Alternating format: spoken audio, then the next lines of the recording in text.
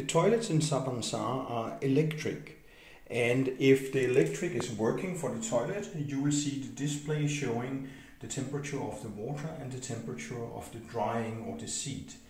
And you would typically also see inside a blue light, night light. This can be turned on and off on the remote. The remote controller is hung on the wall. The, you can use the remote controller also to flush the toilet and also on the toilet you do have on the side of the toilet the most uh, used um, functionalities which is cleaning and flushing. Also the toilet have a foot sensor. This, the foot sensor, if you take your foot or your arm here, it should flush automatically.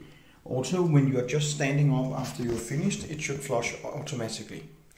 Now the toilet, as I said, is electric.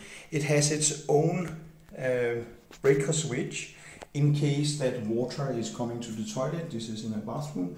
So if you look behind the toilet, you will see that there is a connection uh, here.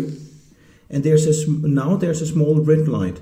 The red light tells me that the toilet is turned on. If there's no red light, it is probably the breaker switch that have turned on the toilet. And if you just press this uh, breaker switch, it should turn on again. And when it is turned on, you will see the display. So this would be the normal way to fix it if there is no electric in the toilet. If this is not working, call our handyman to get it fixed.